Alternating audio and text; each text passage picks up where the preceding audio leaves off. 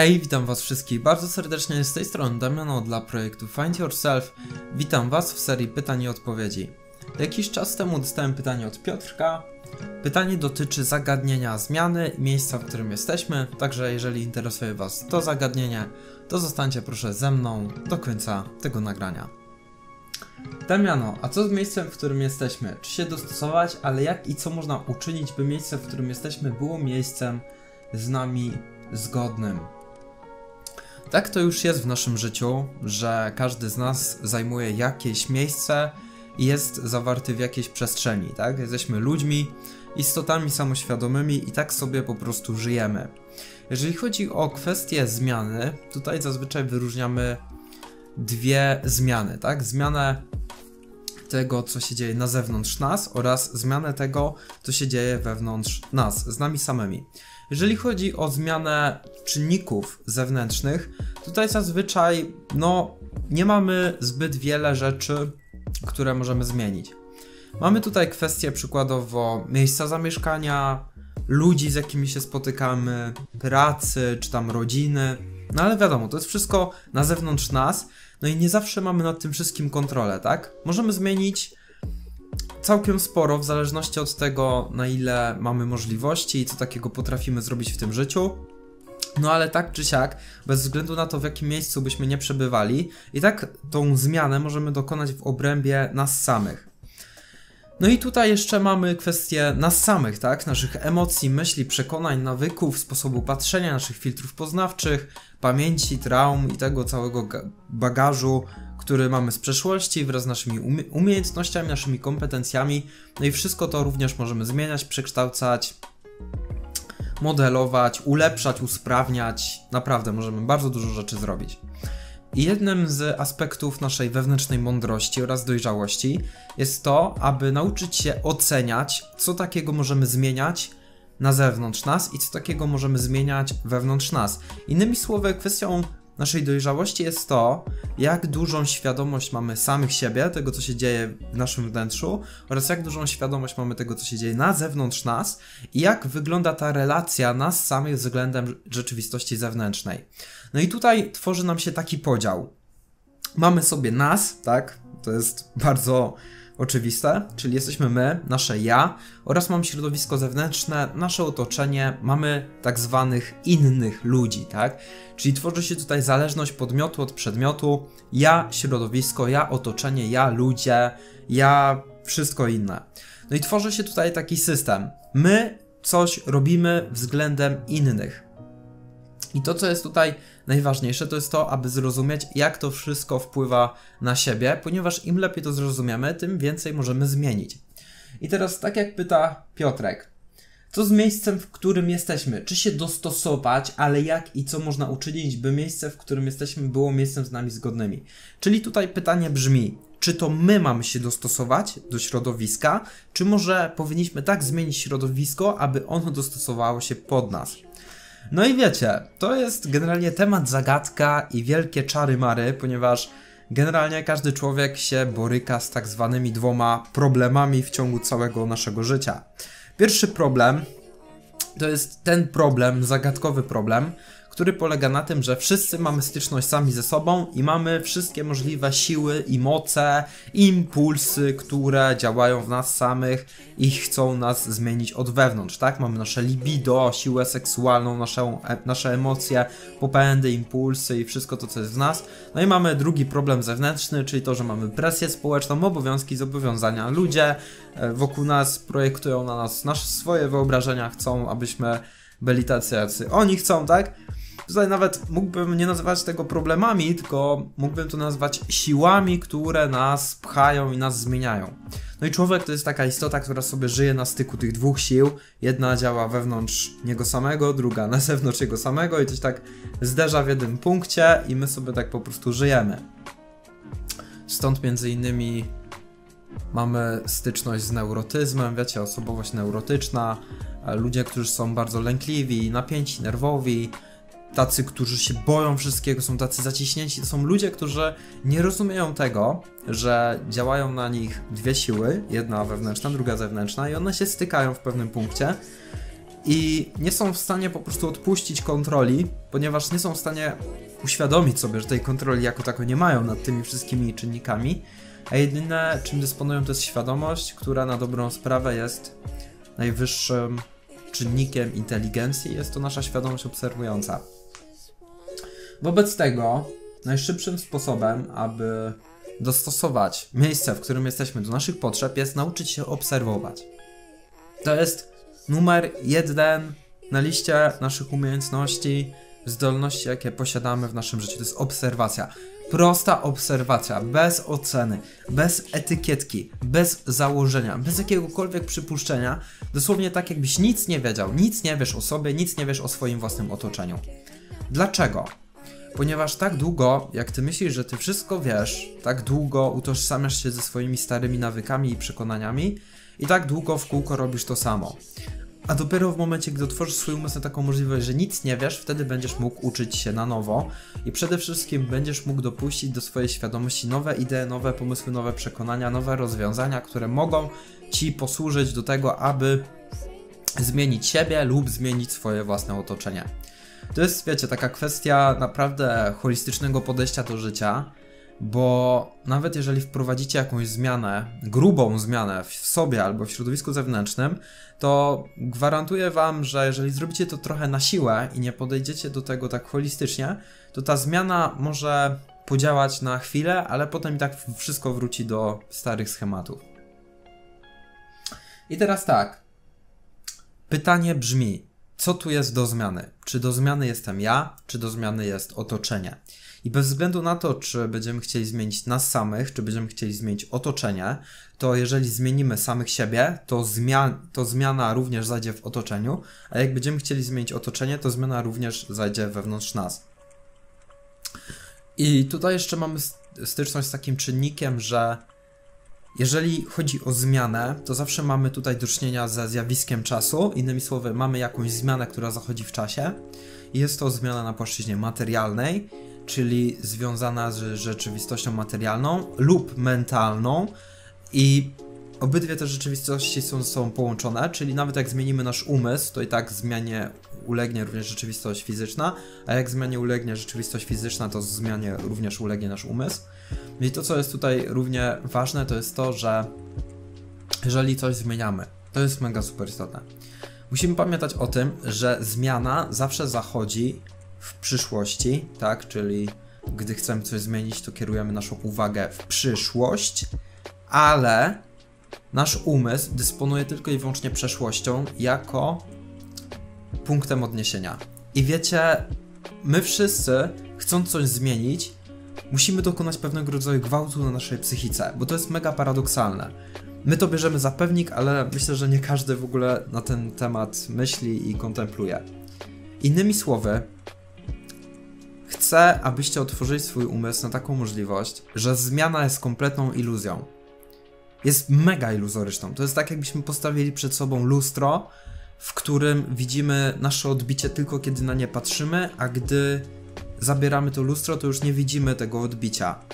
Dlatego bardzo często jest tak, że my tworzymy sobie jakąś wizję zmiany, angażujemy się w zmianę, ale po jakimś czasie sobie odpuszczamy, bo zapominamy w ogóle po co ta zmiana i do czego ona służyła i tracimy motywację i w ogóle nie chce nam się dalej iść.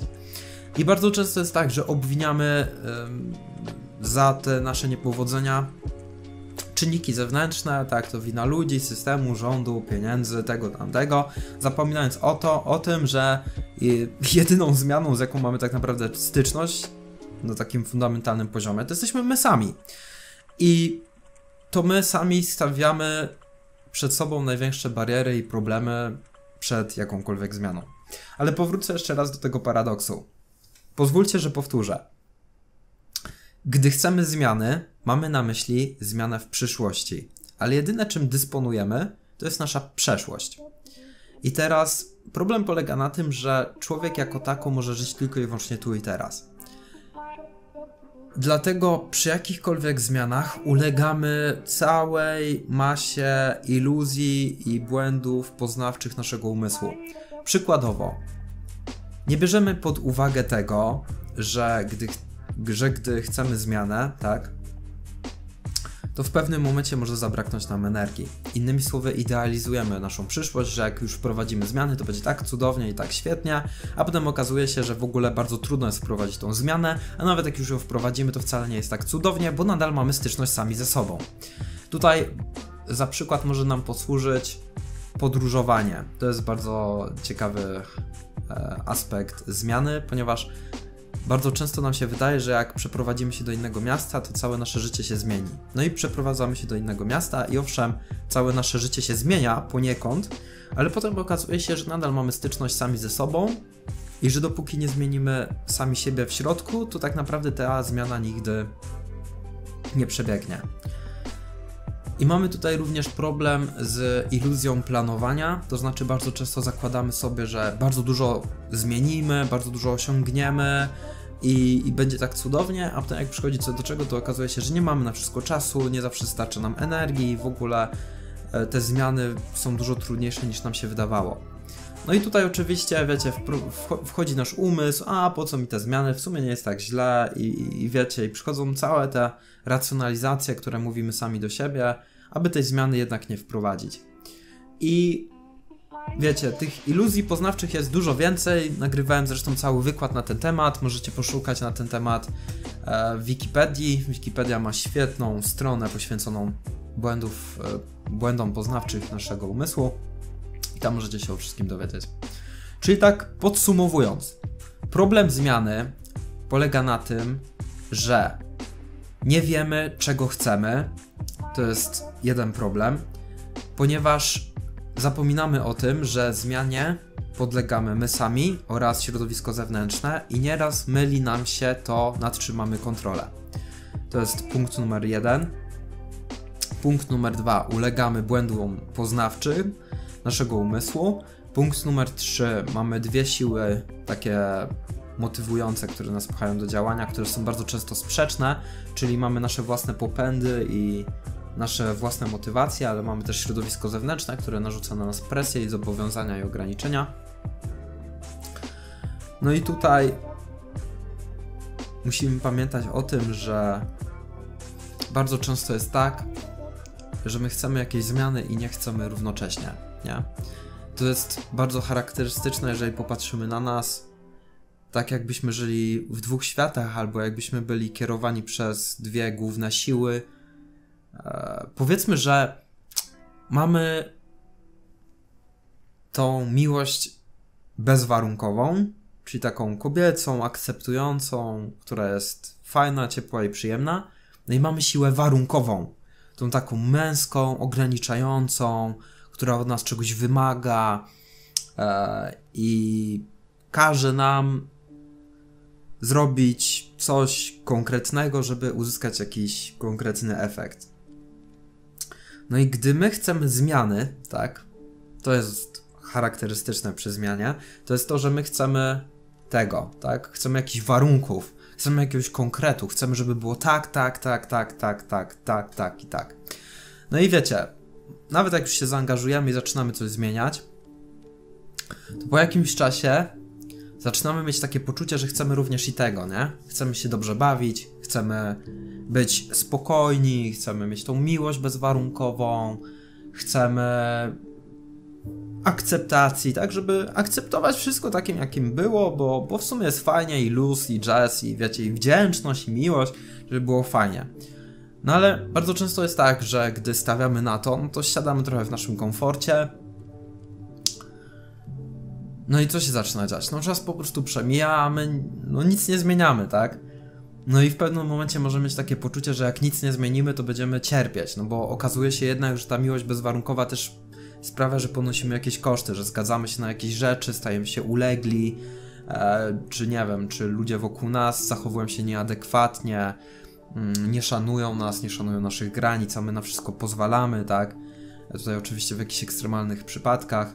No i chcemy znowu tego. No i nasze życie to jest po prostu takie ciągłe pływanie od jednego do drugiego. Od jednego do drugiego, od jednego do drugiego, od jednego do drugiego.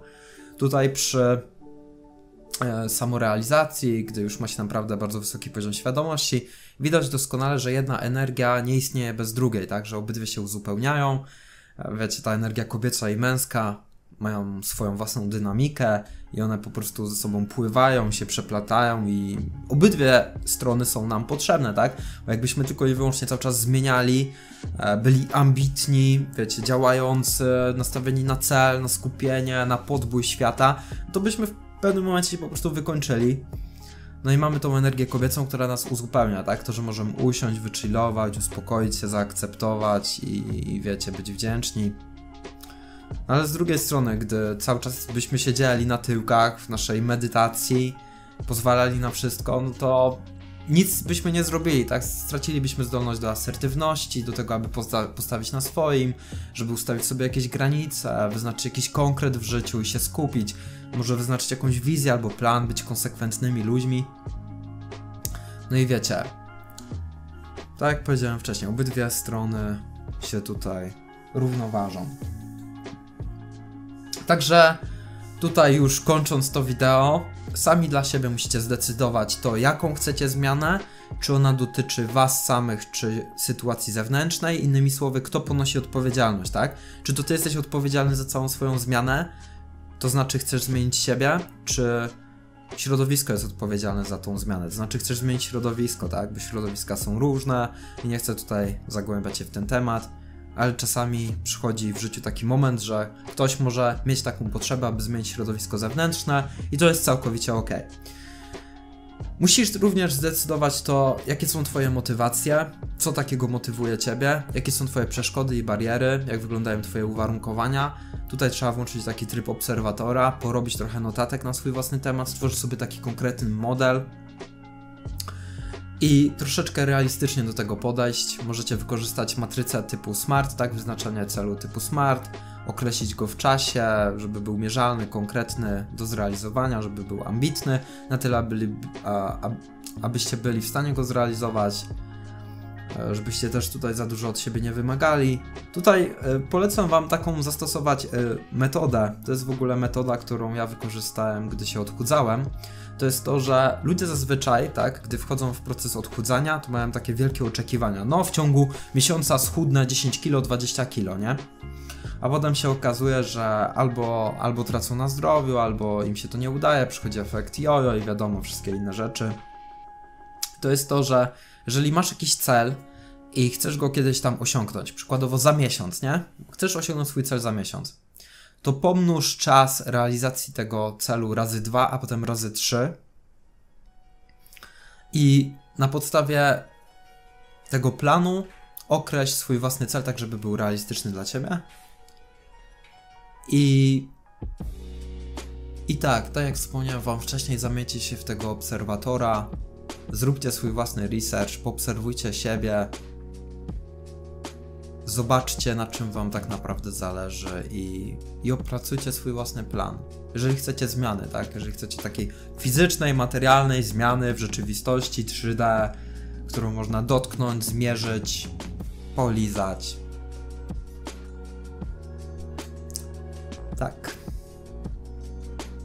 To tyle, jeżeli chodzi o ten film, to tyle, jeżeli chodzi o to nagranie. Mam nadzieję, że pomogłem. Jeżeli macie jeszcze jakieś pytania, napiszcie proszę na dole w komentarzu. Z miłą chęcią odpiszę, z miłą chęcią podzielę się swoim doświadczeniem, swoimi przemyśleniami, swoimi wnioskami. Pamiętajcie, że jeżeli chodzi o zmianę, tutaj naprawdę potrzebna jest ogromna ilość uważności, zrozumienia i mądrości i naprawdę takiej dojrzałości w tym, co takiego chcecie zmienić, dlaczego chcecie to zmienić i co takiego będzie od Was wymagać, aby to zmienić, bo łatwo jest się zmotywować, zajarać emocjonalnie, podjąć jakąś decyzję, ale wiecie, potem przyjdzie ten moment kryzysu, nie będziecie wiedzieć w ogóle co Wy robicie i wszystko może wrócić na stare tory. Tutaj naprawdę wymagana jest ogromna mądrość, żeby to wszystko ładnie poukładać. Zostawcie dla mnie łapki w górę, piszcie komentarze, z miłą chęcią przeczytam, z miłą chęcią odpowiem. Do zobaczyska następnym razem. Miłego. Elo, buźka.